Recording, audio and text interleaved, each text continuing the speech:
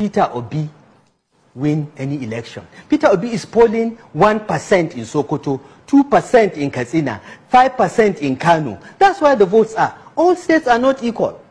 The fact that you are doing 70% in Anambra state does not mean somebody doing 10% in Kano is not better than you.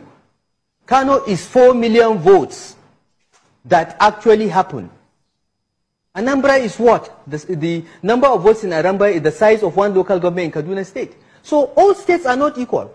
If you poll states and you make them equal, yes, Peter Obi will sweep uh, the southeastern states. He will do well in south-south. Where else? He's not polling well in uh, southwest, other than a drop in the ocean in Lagos. He is polling in the Christian enclaves in the north. He's polling well, but how many are they? How many? Peter Obi cannot win the election. He doesn't have the number of states. He doesn't have 25% in more than, the last time we checked, in more than uh, 16 states. He can't go anywhere. Peter Obi is a Nollywood actor, and that's all he will be. This election is between the APC and the PDP because they have the footprint, they have the spread. Ethnicity and religious bigotry will not take you anywhere. And that's what the Labour Party campaign is about. And uh, it's it's only understandable if somebody like uh, Nasir El-Rufai goes hysterical, calling people names. It's understandable, you know. And uh, but basically, uh, people of the of your height persuasion are known to be hysterical when things don't go their way.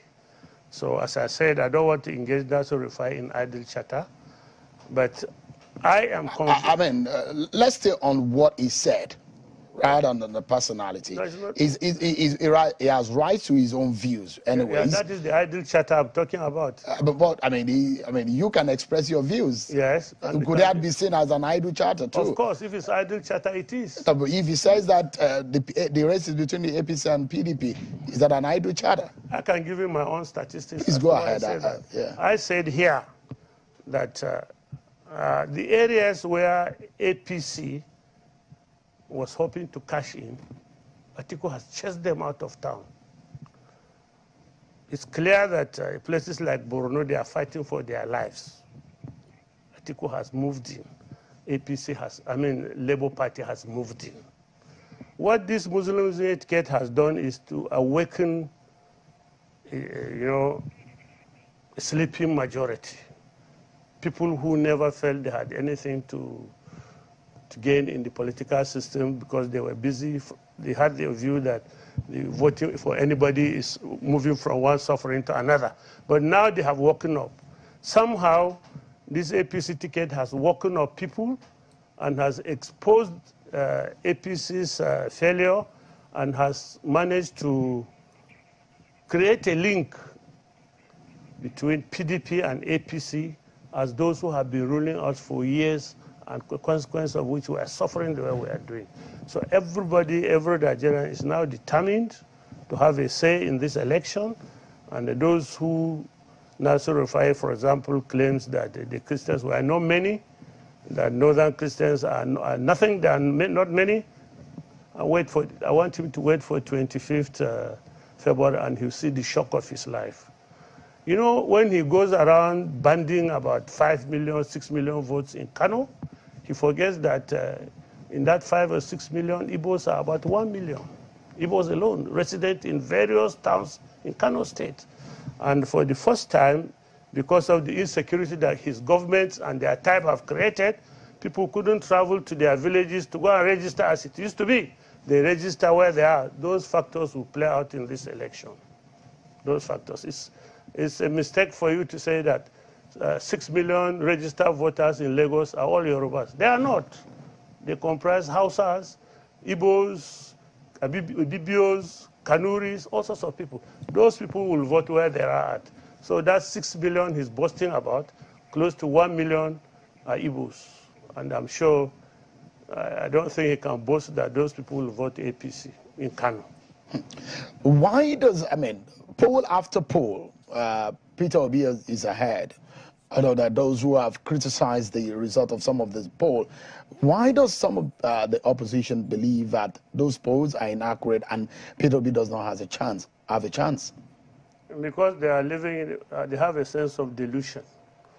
Uh, naturally, for every politician that is contesting for election, he thinks he would win. That's why he's contesting. But it gets to a point where you are living under delusion. You don't want to see the facts and accept them as the facts. So uh, the only way I see it is delusion. And uh, like my friend, uh, Bola, for, for obvious reasons, he has a lot of money that he has been pumping in, and uh, people are after that money, and uh, they continue to feed him with uh, what he wants to hear. For a man who says uh, his life ambition is to be president, any information that you give him that will reinforce that view to him will raise more money for you. So they create a sense of delusion, which only they see the results, but no other person does. It's delusion. How difficult was it for you to switch and now? Anything changed dramatically? Well, uh, on the side of the Labour Party, you mean? Um, what has changed is that uh, areas where we had not expected uh, Labour to do well, they are galloping through. And um, the momentum is so much that uh, it's difficult to contain. You know, uh, when this 2023 election season commenced, the Peter Obi was not was not on the card. During the computations as to what would happen, the expectation was that the race was a straight one between APC and PDP. Then out of nowhere, Peter Obi comes in, and then followed by Rabiu Kwankwaso. And the whole permutations change. Unfortunately for the two parties, the APC and PDP, they didn't have the capacity to factor in these new dynamics, and the thing is overrunning them. As we speak, uh, Peter Obi has run uh, uh, PDP out of Adamawa State. They, have run PDP out of uh, uh, Taraba State, Plateau State, uh, Benue State, Kaduna State, uh, and quite a lot of the states in the north where our calculation was we might, were, were targeting 25%. But now we are targeting anything from 55 to 70% in majority of the states in the north.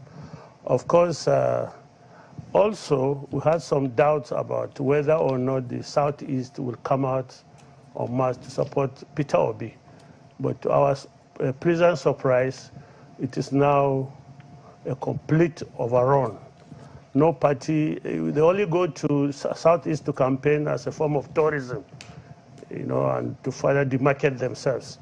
In the south-south, where we thought we were going to compete on a 50-50 basis with uh, any other party, I mean, maybe PDP, we find ourselves uh, targeting 80, 90% in the south-south. So that's why it is. Uh, I can tell you that even in the far north, with the so-called far north, I'll give you an example. Two weeks back, I sent some campaign materials to one of our supporters in Katsina. And uh, when it got to the motor park and the poor man went to collect the campaign materials, uh, the motor park security wanted to see what was in the bag. And when it was discovered that uh, it was Peter Obi dirty t-shirts, they ransacked it. Everybody got a piece of it. And uh, what they were telling the poor man was that uh, in Katsina they are tired. They've been told over and over to vote for their fellow Muslim. They did vote for their fellow Muslims in past elections and see where they are. Most of them were are now refugees living in the motor parks. So this time around, they will not listen to anybody mm. telling them to vote for their brother because he's a Muslim. Because being voting for a Muslim only ended up uh, them ending up in a motor park as refugees. I, I mean,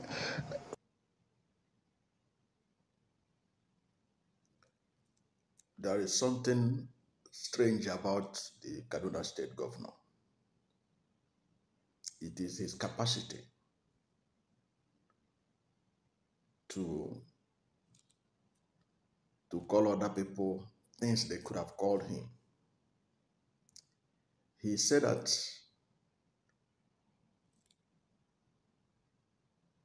Labour Party is campaigning based on ethnic and religious bigotry. In fact, this is a, a, a laughable claim by Erufai, governor of Kaduna State. for a governor whom the Southern Kaduna People's Union, SOKAPO, had accused of ethnic cleansing of their people. About, because of their Christian religious belief and ethnicity. They accuse, Sokapo accused Erufai of ethnic cleansing. Now, this same person is the one accusing Labour Party of campaigning based on religion and ethnicity. That is to say the least hypocritical. Yes. SOKAPO, the umbrella body of all organizations in Southern Kaduna. Southern Kaduna have been experiencing serious killings, ethnic cleansing of their people, they are alleged, driven from their homes because of their religion and ethnicity. And they refuse the governor and they accuse him of ethnic cleansing. This is the person that is accusing Labour Party of all things, ethnic and religious bigotry. For someone who disregarded the Christian population of his state, in fact, there are people who believe that Kaduna State is Christian population is about 50% of the population or more. Yet, El-Rufai runs on a Muslim Muslim ticket in that candidate, in that that state in total disregard of sensibility and inclusivity of Christians. Yet he is the one that has the mind to say that Labour Party, P2B, is run on ethnicity and religion. What a hypocritical statement. Now, for someone whose presidential candidate in a multi-religious and multi-ethnic society like Nigeria is running a Muslim-Muslim ticket. And one of the governors of his state, of, of APC, Ganduje of Kano State, gathered Islamic clerics and told them it is on a viral video that the Muslim-Muslim ticket is a jihad that must be accomplished. For that person, he didn't see anything wrong with what Ganduje said. He didn't see anything wrong with Muslim Muslim ticket of APC to accuse Labour Party of running campaigning on ethnic and religious bigotry is the most hypocritical statement of the century. And he's saying it with a straight face. You can see his, straight face, he was saying it as if he's saying the truth. And that's how they deceive the public, especially the undiscernible public, who take everything they said, hook, line, and sinker. APC and their revised politics in Kaduna exemplified ethnic supremacy and religious supremacy and bigotry to the highest level. So they, they cannot, therefore, have any morality on any moral ground to accuse Labour Party of all things campaigning on ethno-religious sentiment. We all know that the presidential candidate of Labour Party, Peter Obi, has been the only candidate who have been saying it. Say, do not vote for me because of religion. Do not vote for me because of my, my ethnicity. Vote for me because I'm competent because I'm the best. How many presidential candidates, the front runners, have been able to have the courage to say these kind of things?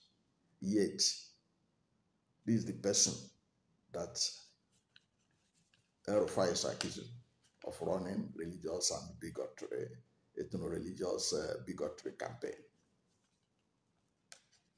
It shows you how these people lie with straight face. It's not surprising.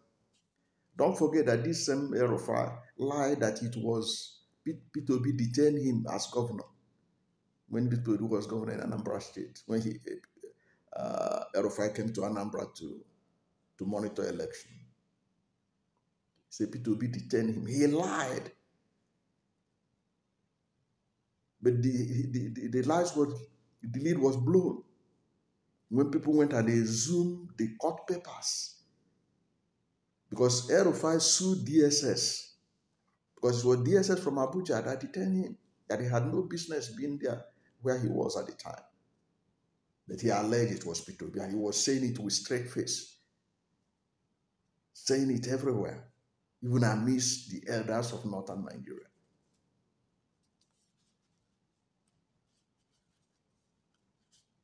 So why should anybody believe him? Then he was talking about that uh, P2B cannot win. It is also laughable. Good enough, this is a man, he said I cannot get up to 200 people in Kaduna. But P2B has locked down Kaduna State three times in three places. Locked down Kaduna, Kafanchan, and what have you, and Zaria. Now he, he, he, he swallowed his pride by saying the same person that cannot feed gather 200 people. He now claimed that from their own survey, they, he claimed that other surveys are not good. It's only the one conducted by Erufai. And the one they conducted, they didn't make the data available so that we can put them to some scrutiny. He's claiming that he put other people's surveys. Claim that from the last time they checked, P2B can only win 25% in 16 states. Wow. Even in the bias survey of, of, of, of El-Rufai, because that, that survey must be very biased for P2B to even pull up to 16 states. It means, man, P2B is on the way to winning the election. And that is why they are cheating. That is why uh, El-Rufai is jumping from one television station to another to tell them why P2B cannot win. So it's, it's, it's, it's, it's important that Nigerians take note of his past record, his previous lies, and know that they cannot take him on his face value, this latest round of lies. Because the figure he's bandying about, nobody know where he conducted it. Where did he conduct it? Where are the figures? Where are the data? Bloomberg gave us their data. NOI gave us their data. Nextier gave us their data. All the other uh, uh, pollsters gave us their data. Where is the data of El-Rufai?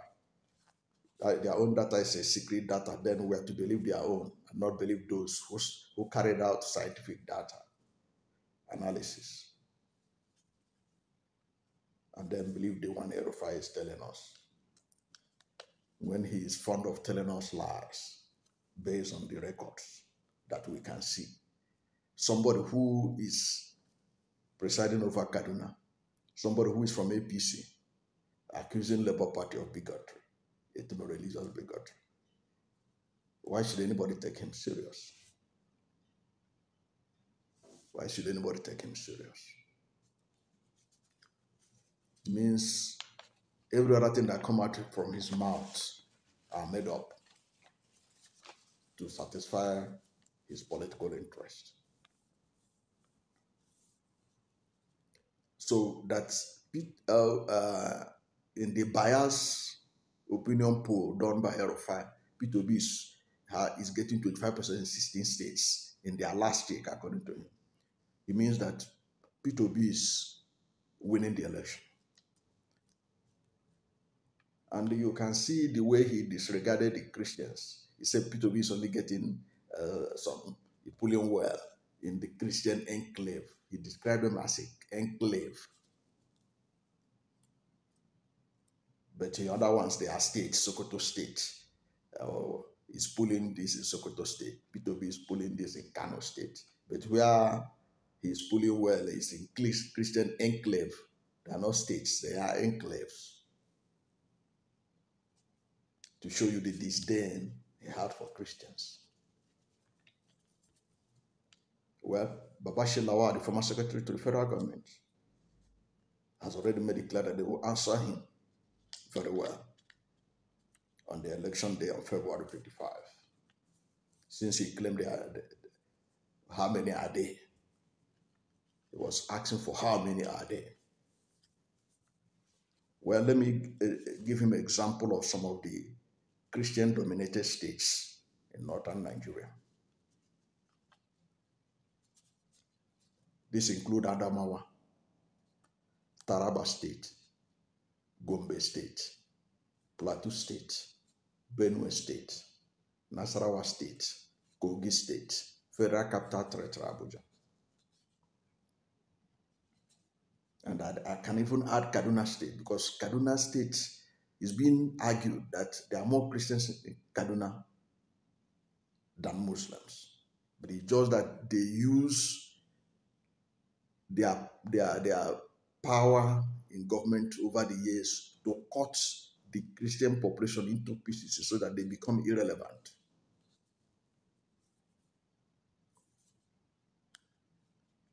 And then you have some states that have good population of Christians in the north. These states include Borno, Yobe, Bauchi. These will have at least 30% of their population that are Christians. You talk about Kebbi. If you go to Kebbi, about 30% of the population of Kebbi state are Christians.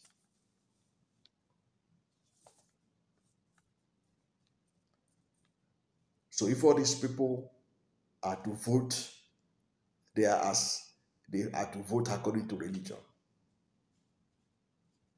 P2B will win all those states with landslide. That is the truth. And the RFI also lied that P2B is not pulling well in Southwest except a drop in the ocean in Lagos. which is not true. Because all the opinion polls so far, both the one that was done by Bloomberg, NOI, uh, We Together Foundation, and what have you, P2B have been doing excellently well, following Tinubu bumper to bumper in the Southwest, as they say in local balance.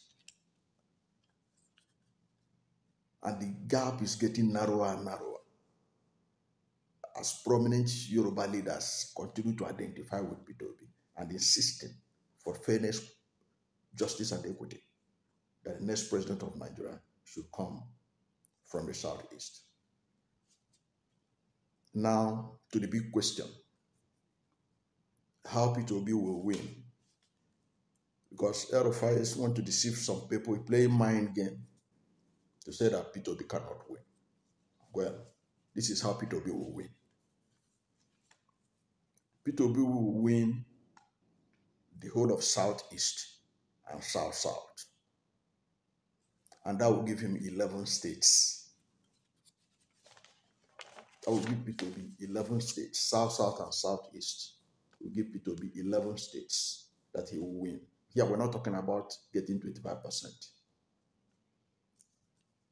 He's going to win most of the states in the middle belt generally is going to win Adamawa. You heard Babachir Lawal saying it there. It has run PDP out of town in Adamawa State, Labour Party. He's going to win Taraba. He's going to win Gombe. He's going to win Plateau. He's going to win Benue. He's going to be win Nasarawa. He's going to win Kogi. He's going to win FCT. And P2B is likely to win in Kaduna. If he doesn't win Kaduna, he will get up to 40% of the vote in Kaduna.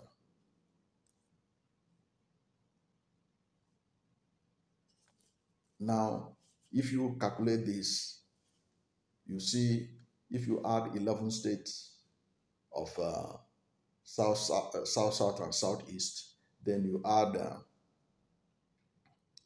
Adamawa, Taraba, Gombe, Plateau, Benue, Nasarawa, Kogi, FCT, and Kaduna. That's about uh, one, two, three, four, five, six, seven, eight. That's eight, nine, nine plus plus eleven. That's nine plus eleven. That's twenty states. Then P2B will win Lagos. That makes twenty-one states. Now, there is no, no state in the southwest that P2B will not get at least 35% of the vote. Because anywhere in the southwest, go and write it down today, anywhere in the southwest that Tinubu comes first, P2B will follow him as second. There will be there's nothing for PDP in southwest in terms of the presidency. So that is it, enough. So he is going to get 25 30, 30%, 35%, 30 to 35% in Southwest. And that is enough for P2B to be declared President of Federal Republic of Nigeria. Even without winning any, without getting 25% in Kano or Sokoto or Bauchi or some of those other states in the northeast and northwest. But so generally, this is the pathway for P2B to be president.